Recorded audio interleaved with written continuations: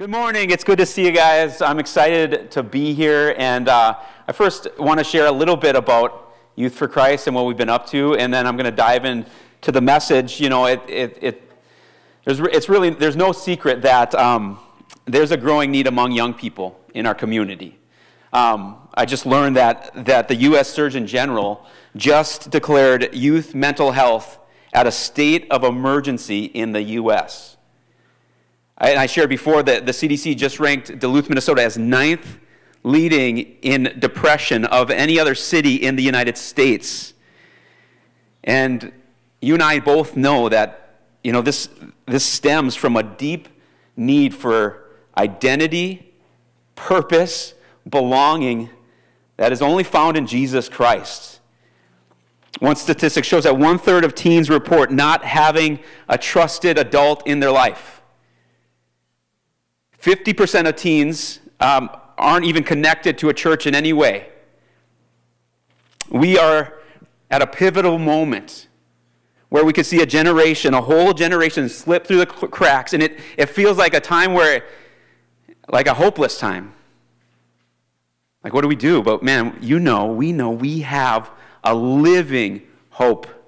And the, the mission of Youth for Christ, this organization that I've now be, become a part of, and it's been going really well, um, we have a mission. We are on a mission to reach lost teens, ages 11 to 19 years of age, in and around the schools. And how we do that is we empower young people, teenagers, gather them together to reach their friends in and around the schools through a weekly gathering called Campus Life, where it's simply what we're doing is creating community in the schools, like little secret churches, where it's not a Bible study, it's student Christians getting together to reach out to their friends and create something during the week that they can invite their lost friends to, where they will experience authentic Christ sharing relationship and have a ton of fun and go on trips and learn a bunch of stuff. And, and I've been meeting with the principal at Duluth East and uh, the president of the, the school board here in Duluth. And um, there's an understanding that there's,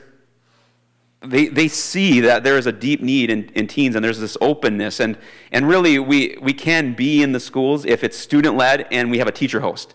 And so there are avenues. And so a lot of people ask, well, how are you going to get in the schools? But there are avenues and there's an openness before and after. And, and, and so um, that is our hope. And that is how we are going to reach these kids. And our hope, really, Head of Lakes Youth for Christ, our mission is to reach everybody in the Head of Lakes. And, and that goes up to Two Harbors, that's Duluth, that's Superior, that's up Northwestern, that's down in Barnum, like this whole area. And, and really, our goal is to create, first, one sustainable ministry that is actually reaching kids that we can create a hub that will create more sustainable ministries. It's really kind of like church planting in a way. And so we're going to start at Duluth East. Duluth East is the largest school in the Northland, 1,500 students. And we have connections here and with teachers there. And so we're going to start there. And I just ask, would you guys just pray for us? And if you want to know more, I have newsletters in the back that we just made and my card. And you can sign up for our newsletter on our email. And then also, to our Christmas Eve offering here is going to be going towards reaching kids at Duluth East. And, um, and so just would pray that you'd start saving your pennies to give to the Christmas Eve offering to, to provide that for those kids in reaching lost kids in the schools. And so that's my YFC spiel. And, and, and um, also, too, um, I just want to say thank you. A lot of you guys know, and some of you know that Mary's dad um, passed away uh, this a, couple weeks ago. Um, we were done here uh, on October 23rd, and then had a Sunday off. And then Mary's dad came down with COVID, and it turned to pneumonia, and um, and uh, he passed away, and we were able to be there with him, and it was this beautiful time. And then we've been filling in at his. He's a pastor of a church over in Superior, uh, First Covenant Church um, over in Superior, and uh, and so we've been I've been preaching every Sunday and leading worship, and that's been interesting but really good. And so I thought I'd get like more time off, but it was just like one Sunday and then into the next things, and so I didn't. Did I say I led worship? I led worship. It was amazing. I don't. I want them to hear it in that way. Yeah. Cool. So guys, I just want to say thank you guys for praying. There's been so many people like reaching out praying for us, encouraging us, sending us sympathy cards, and really grateful for that. So thank you. Thank you, thank you. And so that's my update, and um, I get to preach today. And so, but before I get preached, in Colossians chapter 1, 13 through 16, will you guys stand up and say hi to somebody? You could run and grab a cookie real quick or some coffee, get whatever you need, and then we'll dive into this passage. That would be awesome. So make sure, say hi to two people. Colossians chapter 1, verse 13, it says this He, this is God, has delivered us from the domain of darkness and transferred us to the kingdom of his beloved Son, in whom we have redemption, the forgiveness of sins. He is the image of the invisible God, the firstborn of all creation. For by him all things were created in heaven and on earth, visible and invisible, whether thrones or dominions or rulers or authorities, all things were created through him and for him. Let me pray. Father, we just want your word to saturate our life. Today's message is an observance of who you are, and I just pray, Lord God, that you would help us to see that you truly are the image of the invisible God. There is none above you. And we just thank you that we serve you and that you love us and that we get to see what God is like through your life. And so we just pray that you'd speak to us in a special way today, Lord. You know what we need. Thank you. Speak to us now, Holy Spirit, in Jesus' name. Amen. So today we begin our Christmas series, um, and it's entitled What Child Is This? And um, this is really a time of year where we kind of prepare our minds and answer this question and consider who is this child that lay in the manger on Christmas morning? And if you answer this correctly, it will completely transform your entire life. I remember when I was a kid, and um, at my grandparents' house, we'd go down there on Christmas Eve down in Brooklyn Center, and uh, before we were open our presents at night, which we would do on Christmas Eve, the only toys that they had for me to play with were uh, the nativity scene. And, uh, and so I remember taking the nativity scene down from my grandparents' um, TV stand and playing with them. And at, at, at, that point in history, I was way into the WWF, you know, World Wrestling Federation. And um, the wise men were like a tag team, and Mary and Joseph were another tag team, and the, they had to protect baby Jesus. And so that's what I would play. And I remember my grandma like being like, uh, you need to stop. This, there's something wrong with this. And, and she's like, put my stuff back now. And so I'd put it back. And I remember, I distinctly remember looking at this baby and, and, and wondering, like, what is the deal with you, baby Jesus? Why does the coolest holiday of the year revolve around a baby? Even at like my young age, before I answered this question for myself, I knew that there was, there was something special about this child. It was obvious. And really, in this season, each year, each one of us must prepare our hearts and ask this same question What child is this? Just like Jesus would often ask those who would follow his ministry, he would say, Who do you say that I am? And to do that, we have chosen the book of Colossians to answer this question in this season. What child is this? Which is a question for the church in Colossians, or the Colossian church. They must get this right. Because Paul hears from his friend who we met last week, Epaphras, who was an early convert of Paul and, and one of the first leaders of this church in Colossae, that while this church is full of faith and hope and love, there is this doctrine, this false doctrine that is creeping into the church. And the question is that is Jesus really all that you need to be saved? The error that is creeping into this church is, is called syncretism, which is a combining of other philosophies and other religions like paganism or Judaism, and it combined um, Christian thought and Greek thought, which is today we know as Gnosticism. And, and the Gnostics believed that one must obtain a secret knowledge to be right with God, to be accepted by God.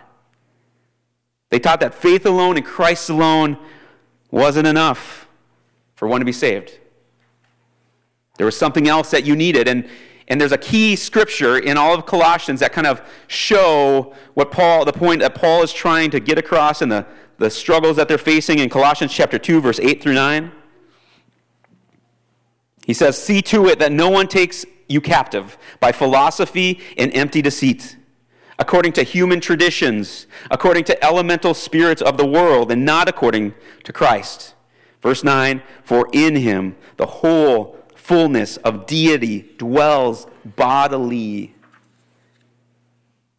And where we left off last week was Paul's greeting, and he's encouraging this church in this letter, and he's praying for them. And his prayer is that God would fill them with the knowledge of who Christ is. And we learned why Paul prays this is because if they don't obtain this knowledge, if they don't understand who Christ really is, they will never be able to walk out this Christian faith. Paul knows that without the knowledge of Jesus, they will never be able to bear fruit for God. They'll never be able to develop the strength that they need to live out this faith. And they'll never realize that today they have everything they need. They're already qualified and they already possess an inheritance prepared for them in Christ. Paul wants them to know there's nothing else that you need today to your faith. You don't need to add anything to your faith to, obtain, to obtain eternal life. Like some might tell you, you have everything you need. And so let's look at verses 13 through 14. And we're going to look through this section. Paul wants us first to know that this Jesus in the manger, born of a virgin, was in fact God in his rescue plan for the world living in darkness. Verse 13, it says, He has delivered us from the domain of darkness and transferred us to the kingdom of His beloved Son. The first thing that Paul wants uh, the early church to know is that because of their faith in Christ, they have been delivered. It says that He, this is God, has delivered us, them, those who have faith in Christ, from the dominion of darkness and transferred us to the kingdom of His beloved Son. The first thing that we see is that we have been delivered. This word delivered simply means you've been rescued. That God saw that you were in a state of darkness and that we needed to be rescued from that darkness and into a new kingdom. The picture of deliverance here is the same picture of the Israelites being in slavery for 400 years under the pharaohs of Egypt.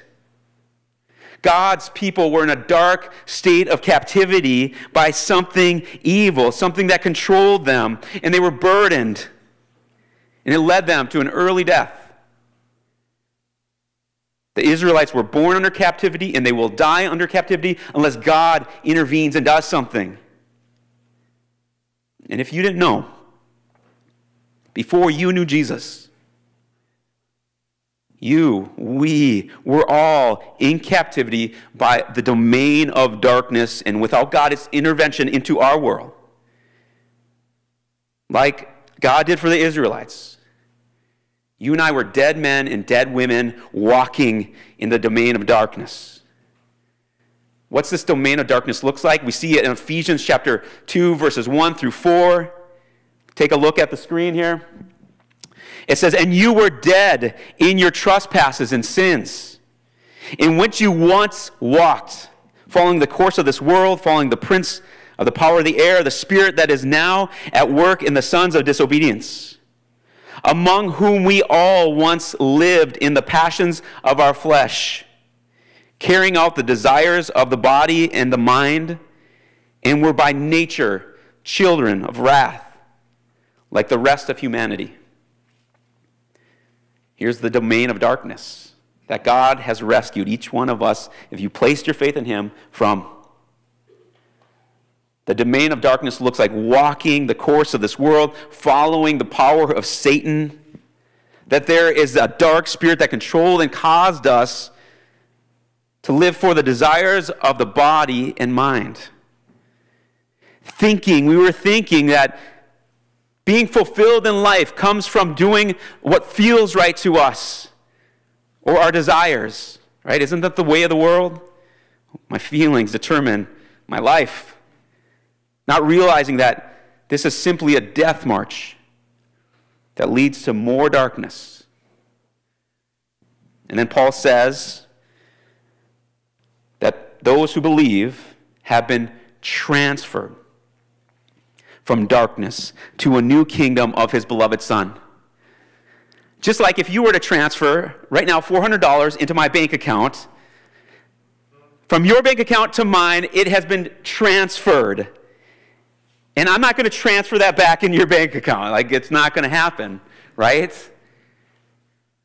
And I'm just making that observation, that joke. I just I want to point out the words, He has. Meaning that what we are talking about in verses 13 and 14 has already happened to you who believe.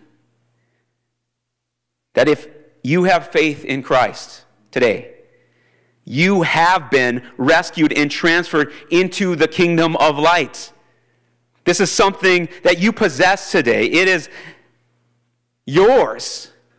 If you have answered the question correctly, what child is this? You have been transferred. Sometimes we as Christians can feel like, man, I need God to deliver me from this darkness. Or we might say, God, I need you to deliver me from fill in the blank. But we must always remind ourselves that you are delivered. You have been delivered from any darkness. You have been rescued from any scheme that the enemy can throw your way you have been delivered, transferred. If you get anything out of this sermon today, I hope that you realize that you have been delivered today. On your drive home, thank the Lord. God, thank you that I am delivered. Not that I'm going to be delivered, but that I am delivered. That no matter the darkness that I sense around me, I am delivered. Just celebrate Celebrate today what you already have in Christ, that you have been transferred from one kingdom of darkness into another kingdom of light, the kingdom of his beloved Son, and there ain't no going back. But there's more. There's a couple other things that you have today. Verse 14, Paul gives us two other things that we have. It says, We have in our possession right now, if you've placed your faith in Christ, we have redemption and forgiveness of sins. Redemption means that you have been bought with a price, that God has redeemed you, God has purchased you. We all know nothing in life is free, and neither was delivering you from darkness. And the cost to set you free was the ultimate price that only God could pay, never you. You don't have the funds and never could. And God values you so much that He was willing to shed His own blood to transfer you into His kingdom, to redeem you. As you've been purchased and transferred, what is it that God has purchased and provided for those of us who have placed our faith in this child? the forgiveness of sins. The forgiveness of sins. It's. Hold on, I got a little mixed up here. My, okay, three, one, two, turning the page. Three, four, five, six, seven, eight, three, transferred. There we wait, whoa, hold on, sorry. All right, hold on, my pages got mixed up. Three, transferred, turning the page. Okay. Cool. Got a little mixed up. Should have checked my pages. Oh, there we go. This is all part of the show, guys. This is all part of the show. Now, should I kick the stand off so Josh knows that I was here? All right. Cool. So we've been transferred. We've have the forgiveness of sins, meaning that because God's redeeming work on the cross, he has purchased you, providing forgiveness. He's canceled any and all debts that you have today or will ever have. You need to hear that. Any and all debts that you had, have, or will ever have. Again, this is so important for the church in Colossae to understand that they know this because without us seeing the things that we really possess, we will never be able to live into our new identity as sons and daughters of a king in a new kingdom. We have to see ourselves as citizens of a new kingdom, not a kingdom of darkness, a kingdom of light, a kingdom of good and not evil, a kingdom of transferred people who are already placed in heaven with God for all eternity. It's not something that you jump back and forth in and out of. It's, some, it's not something you pay for or have to pay off. You are already possessed, redeemed, and forgiven if you have but believed in Christ today. It's not until we realize who we are in Christ and the inheritance, this inheritance that we already share in, when we actually begin to walk out into a new identity. Who is Jesus? What child is this? He is the ransom for your sins. He's the one who made you able for all to believe, to step out of slavery and into a new kingdom. What child is this? In verse 15, we're going to learn something big. He is the image of the invisible God. Verse 15, Paul says, He, this is Jesus, is the image of the invisible God, the firstborn of all creation. Paul says that Jesus is the image of the invisible God. How cool is that? How amazing is that? Have you thought of that?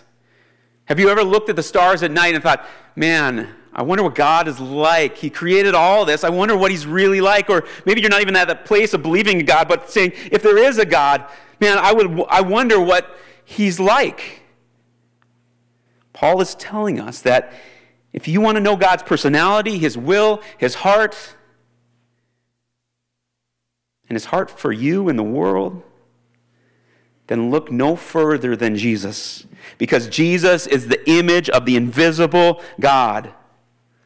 We obviously know that God is spirit, that God is invisible, but we can see him through Christ. That's what Paul says. But that's also what Jesus says in John chapter 14, verse 6. He's talking to Philip, and he says, I am the way, I'm the truth, and the life. He says, No one comes to the Father except through me. And then verse 7 If you had known me, you would have known my Father also. From now on, you do know him and have seen him. Verse 9 Whoever has seen me has seen the Father. He's the image of the invisible God. The fact that Jesus is the image of the invisible, God conveys two things. Number one, Jesus enables us to see what God is really like. And number two, Jesus reveals God's heart to man. And if you want to know God, read the Gospels of Jesus Christ Matthew, Mark, Luke, and John. Read them. Pray, spend time in prayer to Jesus. Jesus, I want to know you more. I want to know who you really are. What child is this? He's the image of the invisible God. What child is this? Paul next talks about his supremacy he says that Jesus is the firstborn of all creation. What does that mean? The firstborn of all creation?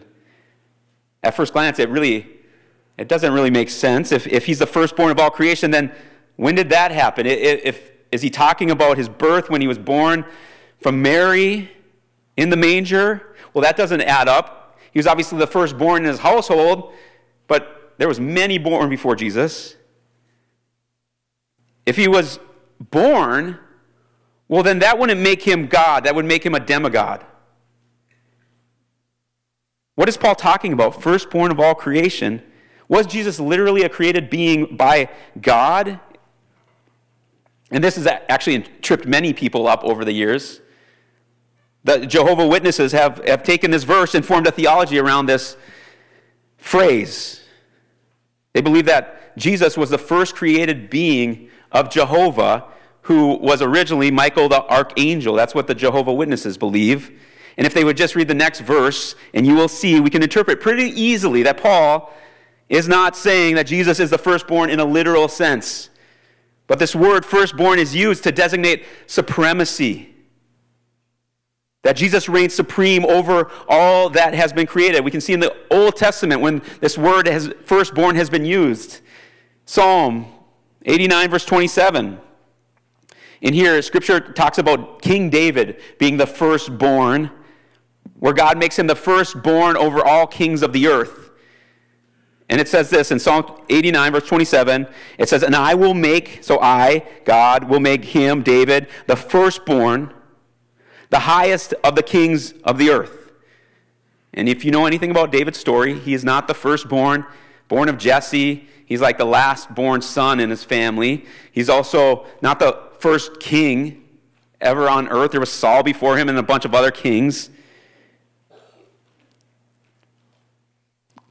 God determined to give him a place of unique supremacy, sovereignty over all kings of the earth. And so when Paul uses this term, the firstborn of all creation, what Paul is telling us about Jesus is Jesus has this unique place of superiority, supremacy, and uniqueness over all things ever created. Meaning that there is nothing higher than our King Jesus. Supreme.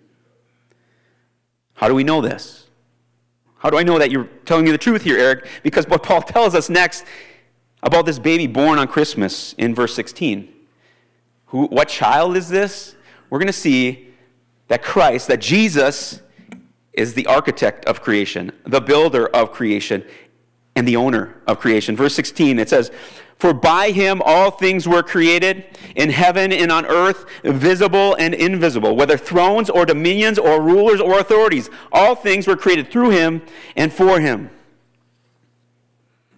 Paul first shows us that Jesus, this baby born in the manger, is the architect who designed everything in our world when it says that by him all things were created. This by him tells us that everything that we see or know about this world, from the bazillion of stars in the skies to the planets circling around the sun, down to the smallest strand of DNA, was created, was designed by Christ. The power to create was in his being. It says, For by him all things were created. He's the architect that from within, Him designed every piece of what we see. If you had any question on what Paul means by this, he kind of gives an extensive list. He says, All things created in heaven and on earth. And that's pretty easy to understand, right? And uh, earth, heaven, right?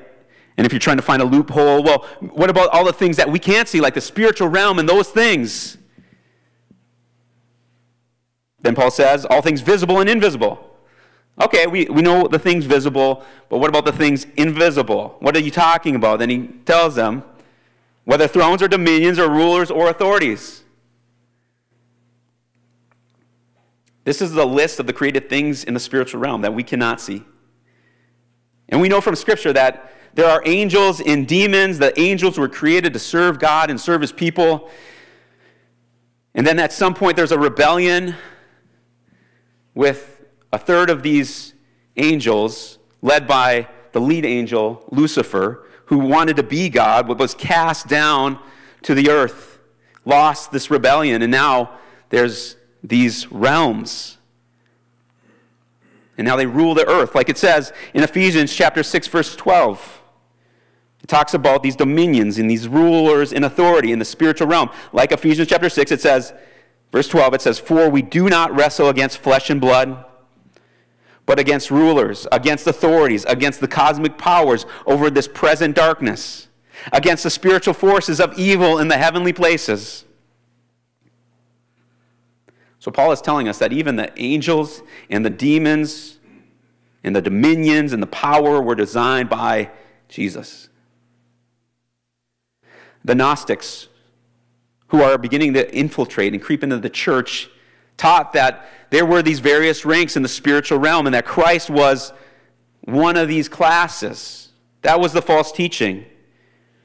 And here, Paul is refuting the Gnostics. And he's refuting anybody else who speaks like the Gnostics, like the Jehovah Witnesses, or Mormons, or Muslims, who lessen Jesus to anything other than the source of all creation. We serve the source of all creation. Paul is telling us that this baby that was born on Christmas morning was the architect who designed everything. But then, in wrapping up this section, Paul shows us that not only is he the architect, but he's also the contractor who has the power to build this creation that he thought up in his head when he says that all things were created through him. Notice it says that all things were created through him. This means that Jesus, this baby born in a manger, is the one who designed everything, but also had the power to create every, everything seen and unseen. He's not only the architect, he's also the builder who has the power to take an idea and put it on paper or put it into reality. We see this in John chapter 1, verses 2 through 3 where John says, He, this is Jesus, was in the beginning with God. All things were made through him. And without him, Jesus, was not anything made that was made. What child is this? It's the architect, it's the builder. And not only that, but Jesus is the owner. That's what we see He's the one who was built for. And Normally, a person would hire an architect and hire a contractor to design their house, to build their house, and then once it's built, they hand over the keys to the owner, right? But this is not the case. The final thing that we see in verse 16 is that all things were created for Jesus. All things were created through him and for him. If our world was designed and created through Him and for Him, that means everything that we see, everything that we know that exists, exists for His purpose, exists for His joy, exists to glorify Jesus. We, like the Colossians, we must believe that Jesus is God, or our faith will become hollow our faith will become misdirected, and our faith will become meaningless. This is our central truth that we as Christians believe. Powerful. It's fun to sit in that. It's been fun preparing this message and just comprehending the fact that this all powerful being would come to this earth for us. And we could see, physically see him in human form, fully God, fully human. And we could see. And he come to us. So, how are we to respond to this message today? By answering the question What child is this that lay in the manger? Do you believe this? Do you actually believe this, that Jesus was the image of the invisible God? A God that loved you in such a way that he gave his son to pay your ransom, providing forgiveness in order to transfer you from the kingdom of darkness into the kingdom of light today. How do you answer this question? Have you answered this question? Who do you say that Christ is? Is this what you say? Do you believe this? How to respond to this message? By answering the question Do I believe that everything was created for him? And by everything for him, that means me. Do I believe that I was created for him? alone for His purpose, for His joy. Not for your own purpose, but for His purpose. We can we get this messed up all the time. Even those Christians, many years, man. We have, even myself, all the time. Like a lot of times, I live to please myself and not God. If Jesus has made the world and everything that we know, and it was built for Him, then for man to find their purpose is for man to find Jesus. The world will say to find yourself, you have to look into yourself. Have you heard that before? No, what we're learning today, to find yourself, you must look only to the one who created you. Because you were created for him. And if we were created for him, then our purpose can only be found in Christ. There's nowhere else you need to go to be delivered. There's no other place you need to look to find forgiveness. There's no other place to find God. There's no other place to find answers. All you need is Jesus. I want to end today with a quote from C.S. Lewis in the book Mere Christianity. I have a hard time reading C.S. Lewis, but I want to encourage you on YouTube. There is a book, The Mere Christianity, and each chapter is illustrated and it'll read it to you, and it illustrates each, everything that C.S. Lewis says. I want to give that to you. Go YouTube, C.S. Lewis, Mere Christianity. But here's a quote. Here's a quote. It says this Look for yourself, and you will find in the long run only hatred, loneliness, despair, ruin, rage, and decay. But look for Christ, and you will find him and with him, everything else thrown in. All creation. All meaning, all purpose is in Christ. All deliverance and forgiveness and redemption is in him alone. Who do you say that Jesus is? If you have never answered this question, answer it today, and it will transform your life. Say, Jesus, I didn't realize this, but I see it's clear that you are God. You said it by your own words. Paul says it. This, like this whole thing, and I see that this has the power to transform my life. I don't know exactly how it works, but Lord, I make you Lord. Jesus, I make you Lord. I see that my whole life is its meaning is for you.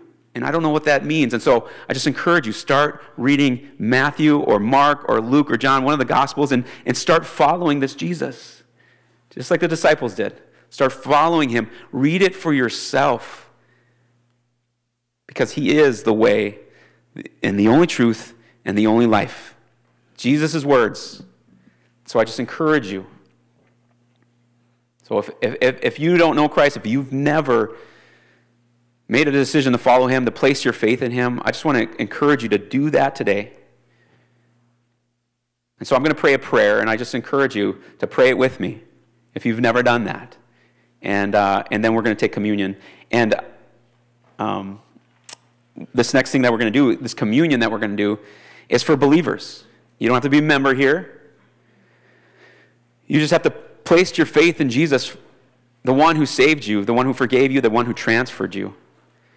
And it's a symbol of what he did on the cross to do that, the price paid to transfer you, to rescue you. And you can partake in this today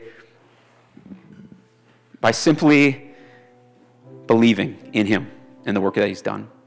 And answering this question Jesus, I know that you are God, and that you saved me, and I ask that you forgive me of my sins, and may I serve you for the rest of my life. And so let me pray. Father, I thank you so much for your word.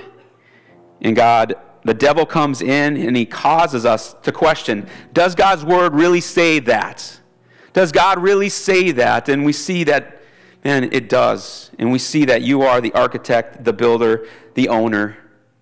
And God, we just ask, Lord, I pray for those in here today who have never answered this question or even answered it in a way that places you as Lord over their life, I just pray right now